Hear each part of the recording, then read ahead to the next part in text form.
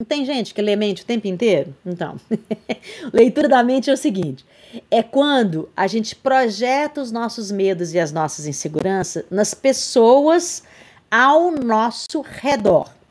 Você presume que sabe o que a outra pessoa está pensando, mesmo sem você ter prova nenhuma disso. Você presume que você que você sabe o que, que ela está pensando, tá? Esse é o famoso bidu. E acontece muito a leitura de, de mente. Um exemplo: você cumprimenta uma pessoa com um sorriso e ela não, res, não responde.